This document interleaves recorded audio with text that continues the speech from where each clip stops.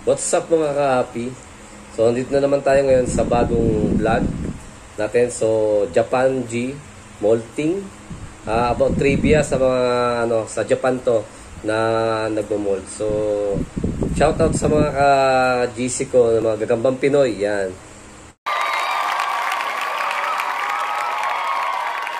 Yan. Hindi ko na babanggitin kung sino-sino yung mga kagrupo ko dyan. Mga mabait na mga ah, keepers sa mga gagamba sa gagambang Pinoy. So itong vlog ko guys, uh, about molting ng Japan G. So meron ako dito na-discover na actually hindi naman bago. So yung Japan G ko actual na nagmold siya tapos putol siya, bumalik yung dalawang galamay niya.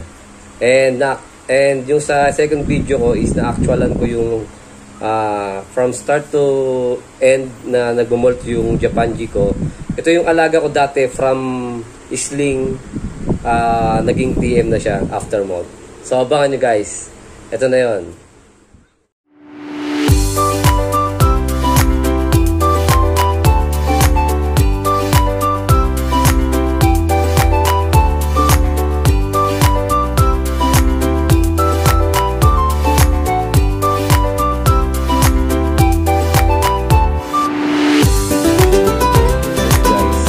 So yung nag-mold na potol ko, so bumalik lahat ng kamay.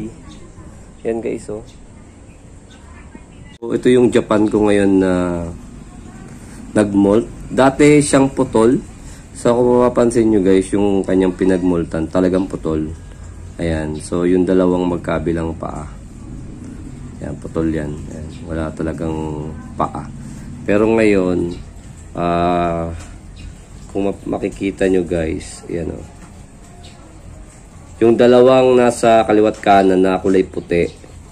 Yan. So, yan yung parang tumubo after ng mold. Bago, kita nyo, bago kulay puti siya. Hindi siya katulad ng ibang galamay.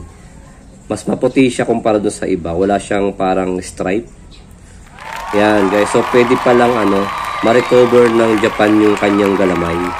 Kahit naputol na siya. So, wag nyong tatapon guys yung mga putol na mga gagamba nyo o na pwede nyo pa pala silang alagaan. Yun guys, bagong information mga kaapi.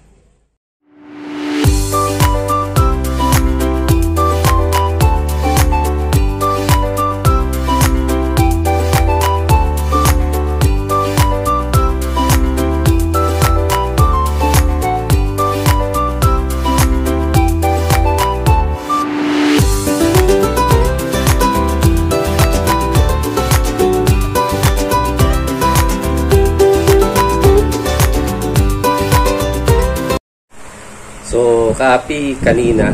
So, nakuhan ko yung pagmumold ng Japan G ko. So, from start to end, nakita ko kung paano pagmold yung Japan G ko. So, ito yung sling ko before, ngayon PM na. So, ito na guys, panoorin nyo.